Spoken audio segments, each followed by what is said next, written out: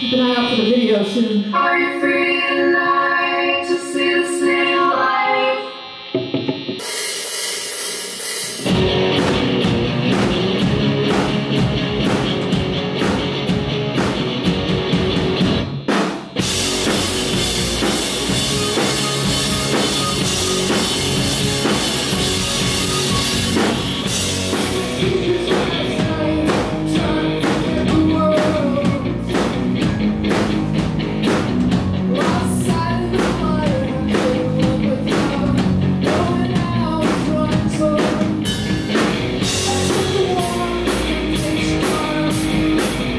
Thank you.